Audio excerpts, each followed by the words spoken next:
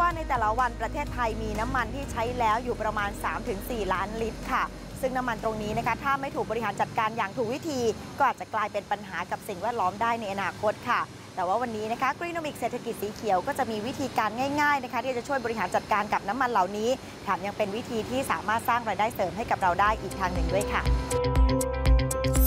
ดไม่ทิ้ง เป็นโครงการที่บริษัท BSGF จำกัดในเครือบางจากริเริ่มขึ้นค่ะ โดยมีเป้าหมายในการรณรงค์ให้ประชาชน ไม่ทิ้งน้ำมันปรุงอาหารใช้แล้วสู่พื้นที่สาธารณะทำให้เกิดปัญหาสิ่งแวดล้อม แต่ว่าให้นำกลับมาบรรจุขวด แล้วเอามาขายที่ปั๊มน้ำมันบางจาก หรือที่จุดรับซื้อ ซึ่งมีกระจายอยู่กว่า 400 สาขาทั่วประเทศ เพื่อที่จะนำน้ำมันใช้แล้วเหล่านี้นะคะ ไปผลิตเป็นเชื้อเพลิงอากาศยานยั่งยืน หรือ SAF ซึ่งเป็นน้ำมันเครื่องบินที่ลดการปล่อยก๊าซคาร์บอนได้มากถึง 80%เมื่อเทียบกับน้ำมันเจ็ตแบบดั้งเดิมค่ะ โดย SAF จะถูกผสมเข้าไปกับน้ำมันเจ็ตในสัดส่วนประมาณ 5%เพื่อให้ใช้ในเครื่องบินได้ โดยไม่ต้องเปลี่ยนหรือปรับปรุงเครื่องยนต์ เป็นหลักการเดียวกันกับการผสมเอทานอลเข้าไปในน้ำมันเบนซิน หรือการผสมไบโอดีเซลเข้ากับน้ำมันดีเซลนั่นเองค่ะคำว่าทอดไม่ทิ้งคือทอดแล้วอย่าทิ้งนะครับช่วยเอาอันนั้นเนี่ยกลับมาให้บางจากนะครับบางจากจะเอาไปทำเป็นน้ำมัน low carbonสำหรับเครื่องบินนะครับแล้วเราก็เตรียมออกโครงการว่าจะทอดไม่ทิ้งเนี่ยวันนี้มีไม่ทอดซ้ำ กำลังทำกับกระทรวงกรมอนามัยกระทรวงสาธารณสุขนะครับที่ผ่านมาเนี่ยอาจจะทอดซ้ำแต่ไม่ได้ทิ้งนะแต่เราลงว่าจากนี้ไปเนี่ยไม่ทอดซ้ำด้วยนะครับทอดครั้งหนึ่งแล้วก็ไม่ทิ้งเอามาให้บางจากบางจากก็ไปผลิตเป็นน้ำมันโลคาร์บอนนะครับก็เป็นเป็นแนวคิดของโครงการก็ง่ายๆฮะทอดแล้วก็ใส่ขวดนะครับปริมาณหนึ่ง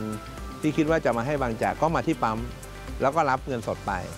ส่วนวิธีการนำน้ำมันใช้แล้วกลับมาขายที่จุดรับซื้อในโครงการทอดไม่ทิ้งก็ไม่ยากนะคะ เพียงแค่รอให้น้ำมันที่เหลือจากการทอดอาหารเย็นลงก่อน แล้วค่อยๆ เทลงใส่ขวดน้ำหรือขวดแกลลอนเหลือใช้ที่ทำความสะอาดแล้ว โดยให้กรองเศษกากอาหาร หรือเศษผงจากการทอด เอาแค่น้ำมันไว้นะคะ แค่นี้ก็เอามาขายที่จุดรับซื้อ รับเงินกลับบ้านไปได้เลยค่ะ โดยราคารับซื้อจะอยู่ที่ประมาณ 13-20 บาทต่อลิตรก็ใช่อย่างเมื่อก่อนพอเราทอดเสร็จใช่ไหมคะแล้วเราทิ้งเนี่ยมันก็เหมือนศูนย์เปล่า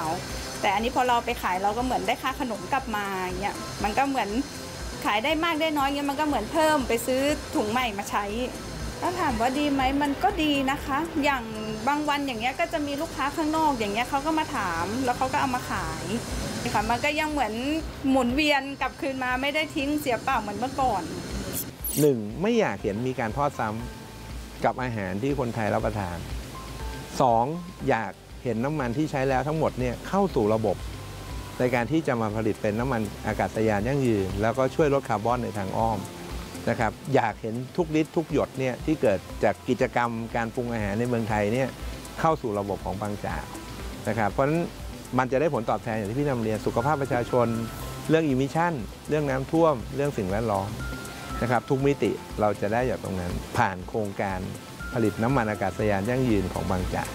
ปัจจุบันโครงการทอดไม่ทิ้ง สามารถจัดเก็บน้ำมันใช้แล้วเข้าระบบได้เฉลี่ยวันละ 3-4 แสนลิตรค่ะ แต่ก็ยังมีความต้องการอีกมาก อย่างน้อยควรมีน้ำมันใช้แล้วเข้าระบบที่ 9 แสนลิตรต่อวัน เพื่อเตรียมนำน้ำมันเข้าสู่ระบบการกลั่น ที่ตอนนี้โรงกลั่นน้ำมันอากาศยานยั่งยืนของบางจาก ซึ่งมีกำลังการกลั่น 1 ล้านลิตรต่อวัน ได้เริ่มขั้นตอนการก่อสร้างแล้วค่ะ คาดว่าภายในมีนาคมปีหน้า น้ำมันอากาศยานยั่งยืนหยดแรก จะถูกกลั่นออกมาป้อนสู่ตลาดค่ะ